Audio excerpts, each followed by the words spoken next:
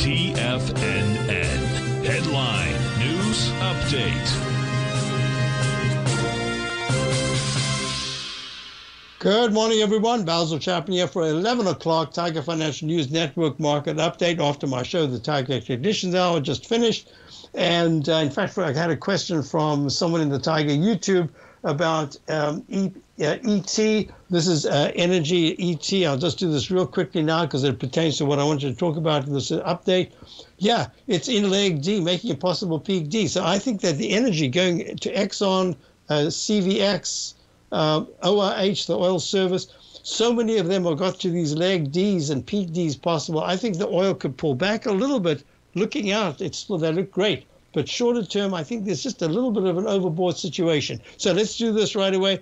Dow has gone to a new recovery high, fabulous move above the high of September of 32,504. It's only in leg C at 32,653, um, up 621. The S&P being led by the Dow. The general is leading the the, uh, the troops, and the C uh, S&P is up 62 at 38.69. Very nice move. It should go to a leg D. You should try to get to the 39.08 area in the next couple of days. You're looking at the QQQ after all the bad news with Amazon and everything coming back up six, almost six at 278. 60. You're looking at the IWM.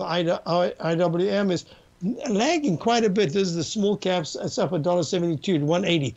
Gold had the usual Friday tanking.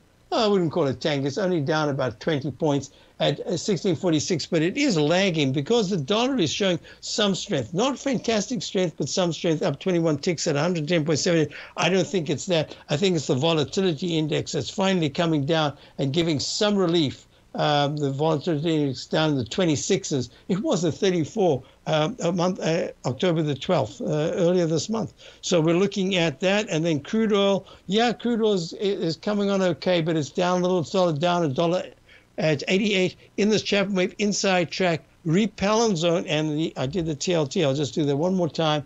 The TLT is at 97.34, holding well.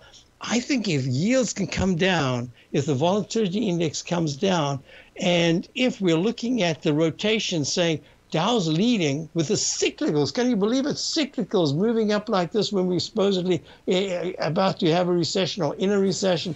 This is good, a good sign.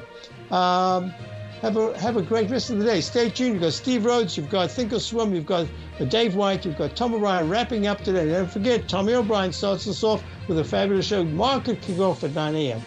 See you on Monday. Have a great weekend and have a great day.